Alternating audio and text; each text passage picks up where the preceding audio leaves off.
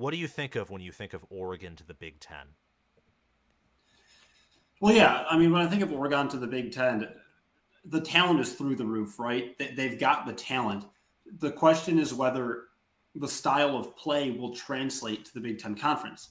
And on, on the, I'll start out with with the bad news for Oregon for Oregon fans. The bad news for Oregon fans is you lost twice to Washington last year, and you saw what Michigan did to Washington in the national championship game. Uh, Michigan put up 103 on the or 303, excuse me, on the ground for eight a carry. Um, so that, that's the bad news if you're Oregon. The good news if you're Oregon is you've got a coach in Dan Lanning who is not stubborn and will adjust. So he's going to build a team that's going to play Big Ten football, I believe. The question I think is how long it takes them to build that team. Is it this year? Is it next year? Is it the year after that? So how long does it take this squad and this roster to play that Big Ten brand of football that you really, I think, have to play to be successful in the Big Ten? Do you think that they can run the football effectively and also stop the run effectively? Oregon, you know, stop stopping the run. They stopped the run really well last year. I believe they held opponents to 3.5 yards a carry, if I'm not mistaken. So I do believe they can stop the run effectively. Um, especially, I don't know if you've got the same level of run offenses in the Big Ten this year necessarily. Michigan, of course, loses a lot on that offensive line. Um, Ohio State, I'm not sure if they're going to be a complete ground and pound team either. And Penn State, of course, Drew Allar, they're going to try to lean on him, hopefully to push the ball downfield a little bit. So I'm not sure there will be as much pressure on that run defense as there may have been in the past couple of years. And they're a really good run defense. So so I, I, I do think so. I do think this Oregon team is going to hold their own um, defending the run. Now, whether they're going to be able to run the ball or not, I think that's a different question. They ran for a ridiculous yards per carry last year. It was someplace in the sixes, I believe, as a yes. team, which is absurd. But a lot of that was due to the spread offense they played and how good of a deep ball threat Bo Nix is. Um, so, due to that, teams had to spread their defense, which let um, CJ Verdell in the run game be so impactful. So, I'm not sure if they'll have quite the same success in the run game as they did last year. I think when it comes to CJ Verdell, he's been like, he was quick, but he graduated um, forever ago. I think you're thinking of Irving oh, and Sorry, Irving. Bucky Irving and Jordan James. I love Jordan James this year. Excuse me, Irving. Yeah. yeah. Irving, not CJ Verdell. No, no, he's not still playing. You know, he play Bo might be a similar age as Bo Nix, but uh but did not play with him last year. Yeah.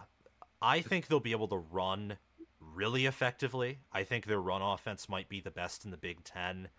Um I think that their run rushing attack probably given what they return at O-line with Ajani Cornelius, Josh Conerly Jr., and I think Marcus Harper the second started some at guard last year, and the way they recruit, and they return their tight end, which always helps. And Jordan James had some starts, and Gabriel is a proven QB, and he can run the football as well. I think all of that combined probably gives Oregon the most explosive rushing attack, and probably the one with the highest floor. And then I would go probably Penn State for highest floor. And Penn State, I'd also probably give the edge to with power running. Ohio State's is probably the most boomer bust in the sense that their O line could be bad, but their running back room's the best in the country. I think Oregon's question is can you stop the run? Because I, I know you, in your opinion, they're good and I think that their defense last year was very admirable, but they also did not play a tough schedule. Like they played USC, who had a mediocre O line. Washington was the best team that they played by a mile, and Washington coached circles around them twice. But they're they're there, and I think they can compete in the Big Ten and even for the title. I have them reaching the national championship just as soon as this year. Do you think that like short term and long term, this is probably the best former Pac-12 team in the in the Big Ten, like as a program. I do think so, and I think so largely because of Dan Lanning. If there was a coach other than Dan Lanning at Oregon, I wouldn't be nearly as confident in their ability to adjust because uh, sometimes you see teams that they come to a new conference or they play you travel to play a Big Ten team or an SEC SEC team, and you and playing ACC ball or Pac 12 ball does not work in those conferences. And we've seen that over time. I believe history backs me up there. Um, Dan Lanning, he already preaches physicality. So that's already his motto. And I can only imagine he, he's going to be telling this team in the offseason, hey, guys, ex- people expect you to get bullied. People expect Michigan to bully you. People expect Ohio State to bully you. Um, and, you know, he coaches with a bit of an attitude and a chip on his shoulder. So I think he's going to build that tough culture. I completely agree. Before the the Nick Saban retiring set off a ton of dominoes that I didn't expect. I don't think anyone expected Saban to retire. But um I thought it was going to be Washington who'd be the best off before Kalen DeBoer left, but we'll get to them later, of course. Uh, but right now, I'd say Oregon. I think Oregon is the trench play, the recruiting, the head coach, the strength and conditioning and development to succeed. And they they even have the potential, I think, to be at some point. I don't think now, but maybe in the future, the Big Ten's best program. Um, next up, what about UCLA? I feel like we're going in an opposite direction here because I have UCLA is probably the worst in the future of the Big Ten and even in the present. What do you think about that? I'm going to have to agree with you here. I'd love to be an optimist for the UCLA program and disagree with you and tell you why they're going to be good, but I just, Sam, I don't, I, I, I just simply don't believe that they're gonna that they're gonna be good in the Big Ten. Um, you know, they have they have history there. There is history there for UCLA, so maybe something is built there. But anytime you're losing your head coach, I mean, from a team that frankly was just not very good last year, and you're going to what I would certainly classify as a tougher conference. I, I think you'd agree with me on that. I think most people would agree with me on that. You know, it's it's. I don't think you have to get. It's just going to be tough. UCLA last season, just, just glancing over over really surface level stats, they ran the ball for 4.5 per rush, which is solid. That's good for 44th in the country. Their run defense was actually really good. So that was the strength of this squad. They only gave up 2.7 yards per rush. That's just about flush with the, that elite Michigan D line from last year, who obviously won the national championship. So the run, the, the physicality on defense is there for UCLA. But at some point, you do have to have good skill position players. And I'm not sure they're going to be there within the first couple of years in the, in the Big Ten. I buy that. And their defense, their what was interesting about UCLA last year is their defense was awesome with D'Anton Lynn, who's now at USC as their DC. Like their their defense was incredible. It was the biggest turnaround defense in the country. But their problem was their offense, despite being coached by Chip Kelly, was not good. It it stank. It and it really took a nosedive toward the end of the year when they started on that losing streak, and talks about him being fired kept resurfacing. And I thought entering this season he would be fired mid-season. They would just collapse and not and, and be one of the worst teams in the country because they lose most of their defense. The players that aren't going to the NFL are transferring out. Like they lost a few of their defensive backs to USC, for example, their rival and they lose Carson Steele at running back. They lose Duke Clemens, their really good center. They bring in some transfers on the O line and wide receiver, and also on defense, but they do lose that entire defensive staff. And Chip Kelly, he did not leave this team, he did not leave the Bruins in a good position. And their new head coach, Deshaun Foster, we'll have to see how he does he got promoted from being a running backs coach. Uh, he was not put in a good position by Chip Kelly at all. So I think UCLA will have to give him time uh, to see what he can do there. Yeah, certainly, especially going to a new conference is really the timing all works out in the worst possible way. If you're a Bruins fan, um, you, you, like you said, you, you're losing talent, you lose your head coach, and now guess what? Congratulations, you get to play Michigan, Ohio State, and Penn State year in and year out. Not literally because there's so many teams in the Big Ten. Everybody doesn't play everybody anymore. But but you get the gist. You're you're yes. going to really play a physical brand of football that can really beat you up.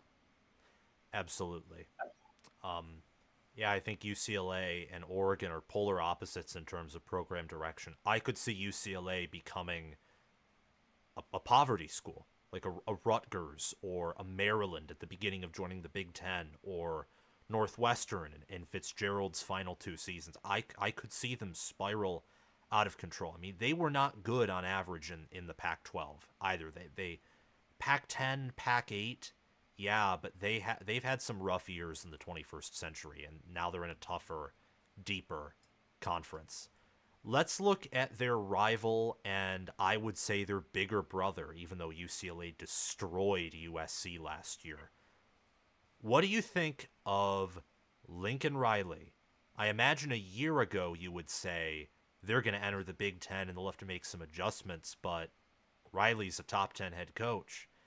And now eight and five with Caleb Williams and a defense that was worse than just about anyone predicted. What do you think of USC right now? Man, it's really hard to buy Lincoln Riley stock, having seen that he is so far unable to turn out good defenses or competent defenses. I mean, watching USC games last year, was was rough. And I'm not saying this for dramatic effect. I it was physically frustrating to watch USC's defense play.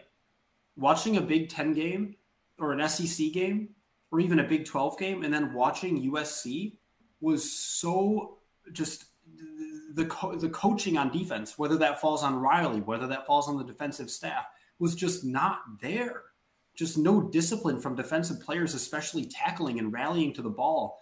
So, first of all, that has to be fixed, especially in the Big Ten. And teams, listen, stereotypes aren't always true. In fact, a lot of times they're not in general in life, but sometimes sports stereotypes are true.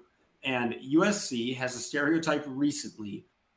Riley teams, more specifically, have a stereotype of being soft. And so they're going to come into the Big Ten, and a lot of Big Ten teams are going to try to punch them in the mouth. So they better be ready for that. And I mean, this is a squad that they gave up 4.8 yards per rush defensively. That's good for 106th in the country. You know, that's just not great. And when you're coming to such a physical conference, I, I think it's I think it's a recipe for disaster. Yeah, um, they what I I, I can see someone buying stock in Riley only because they got a good DC in D'Anton Lynn. They hired Eric Henderson, who was the D line coach of the Rams they they they got an NFL D line coach to be their D line coach. Um, they brought in North Dakota State's head coach as their linebackers coach. So they're they're they're trying everything they can do to build um, a good defense and a good staff. And Doug Belk, Houston's defensive coordinator, who's done a good job at developing secondary players, they brought him in as their secondary coach. So they're loaded at defensive staff. But yeah. for and for me, it's like Jim Knowles hired Ohio State, and their defense looked good in 2022 for the first 11 games, but they still missed tackles. They still allowed big plays. And against the best offenses they faced all season, uh, Michigan and Georgia, they, they crumbled. And I think it's going to take USC a year at minimum for that defense to be anything that resembles a top 25 unit and their schedule is tough too. I know we're talking about like long term, not just short term. In the short term, I think you you gotta keep the expectations reasonable, and maybe people, especially USC fans, will disagree with that. But yeah, depending on who you were, um, games like watching USC was, like you said, rough. I hated it when they actually lost some games, it was it was like watching Iowa lose a game. It was the best thing ever because finally uh, this team that defies all laws of what a college football team should be is smacked back down to reality. Like I, I hate purely one-dimensional teams who intentionally practice cognitive dissonance and act like their way's the best, and then they're not the best it, it's delusional. And USC, and I'd say Riley teams, even some at Oklahoma, have been delusional teams. I mean, they, they there's this obvious ceiling, and we'll see what USC can do. I think long term they have an awesome future as long as they keep Riley in the long run and the hires work out. Uh, what do you think about their long term future? I'm curious. Yeah, I do think they have a long term future. I don't think it's quite as great as Oregon with Dan Lanning, but I mean, let's let's be honest. Bottom line is Lincoln Riley is a good coach. Um, now, has he struggled defensively horrendously? Yes, he has, and let's not sugarcoat that. But overall, he's a desirable hire, and a lot of schools around the country right now, at the snap of a finger, would drop their guy and say, "Give us Lincoln Riley," and there's a reason for that. He develops quarterbacks like nobody you've ever seen before. Um, he just uh, all his offenses are explosive year in and year out. I mean, he just developed multiple Heisman Trophy winners. The guy has a way with offenses. If that defensive staff you're talking about that you were that you were just highlighting works out, then man, they could be elite. The question is when and if that staff will work out. But but I, I do I do buy his stack long term his stock excuse me long term in the Big Ten. Yeah. One more question before we move on. Do you think he's overrated as a head coach? At this point, no, because I think enough people slander him that he's not overrated. Um, I think there's a general sentiment in college football right now that he's not a championship coach, um, which is fair. But because of that, I don't think he's overrated anymore. What, what about you? What, I'm curious. That's a fair point. I was going to say yes, but now I'll say yes in terms of national writers. I think the public probably accurately rates him, if not maybe hates him too much.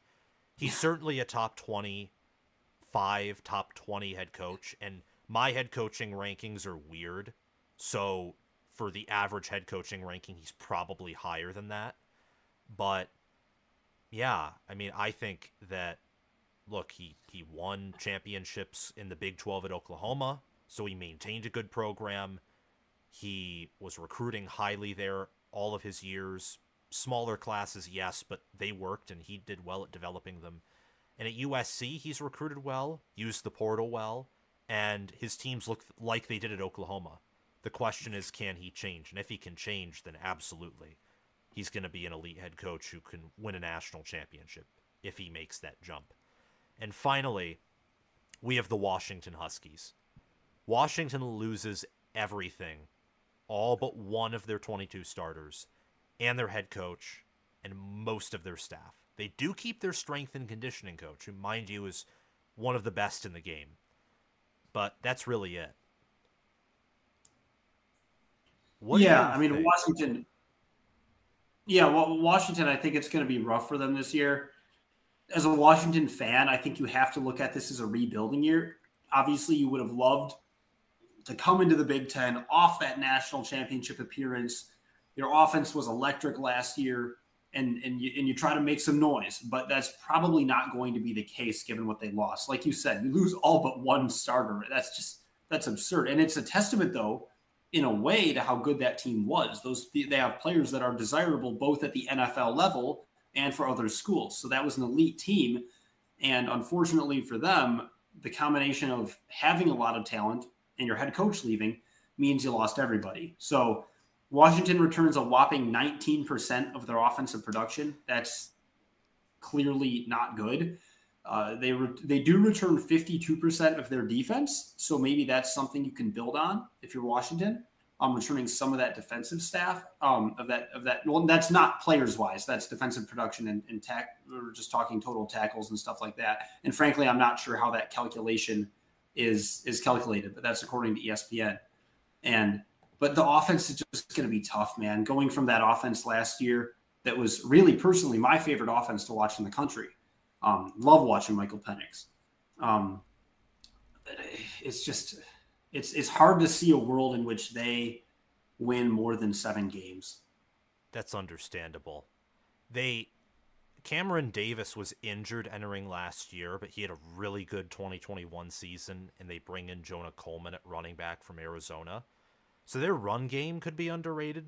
They bring in Will Rogers, former Mississippi State quarterback, and I think that they look, they got Steve Belichick as their defensive coordinator. And no, that's not a joke. That's that's who they hired as their DC. They could they they they could be a top 25 team at their ceiling. Maybe with Jedd Fisch in there with his staff, they can pull off another Cinderella story. Although I don't think last year's story was Cinderella. They didn't blow anyone out, but they controlled games and and worked teams and coaching staffs. That was an elite team last year. I look at Washington and I don't know where to place their future. It's certainly higher than UCLA's.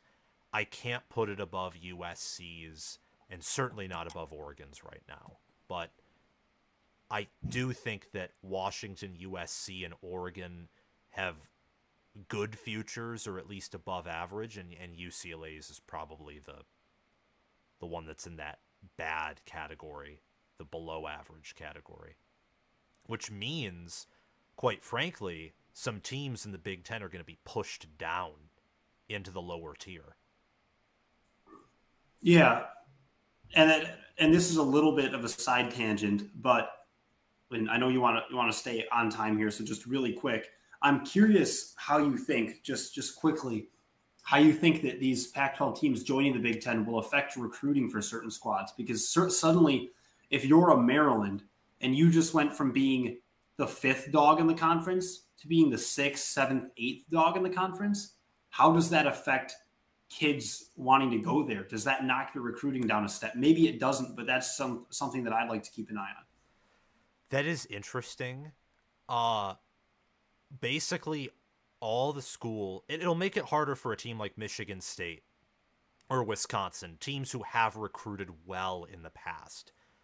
But those are very few. The Big Ten, and, and you know this, it's really been Ohio State, Michigan, Penn State, and then recruiting just ta- and Nebraska too.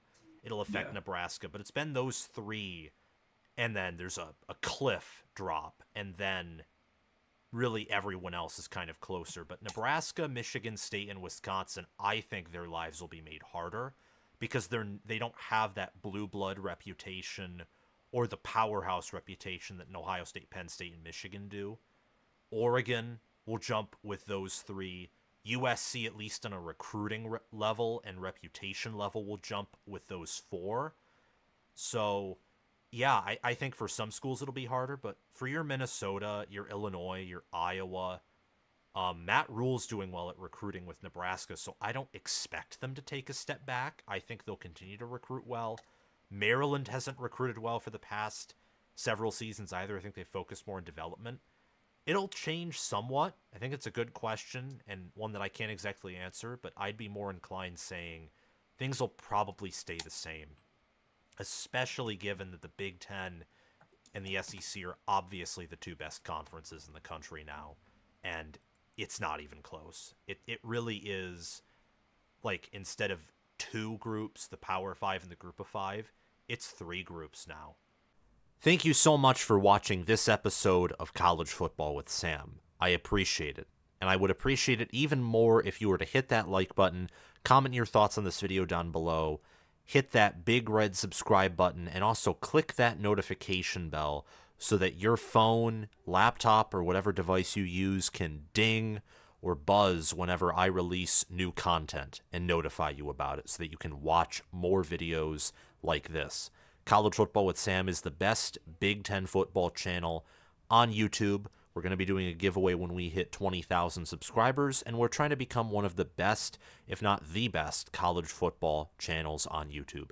Your support means so much, and to those of you who are subscribed to my Patreon or purchase merchandise from my store, the links to those are down in the description and pinned comment. Thank you so much. I want to give a shout out to my Patreons. Thanks to Crash2488 for being a Heisman member. Thanks to Spencer Bringhurst, Chris Lane, and Connor Little OH for being All American members, and thanks to Will Loftus, John Lynn, Roaming Gnome, Matthew Sale, Austin Christmas, and Janisha Cockrell for being all conference members. Have a great day, guys, and if you're listening on Spotify or any non YouTube podcast platform, please check the link in the channel description to find my YouTube channel. And if you're listening on YouTube, feel free to check out my Spotify, if you so please. Have a great day, guys, and I will see you all soon. Bye bye.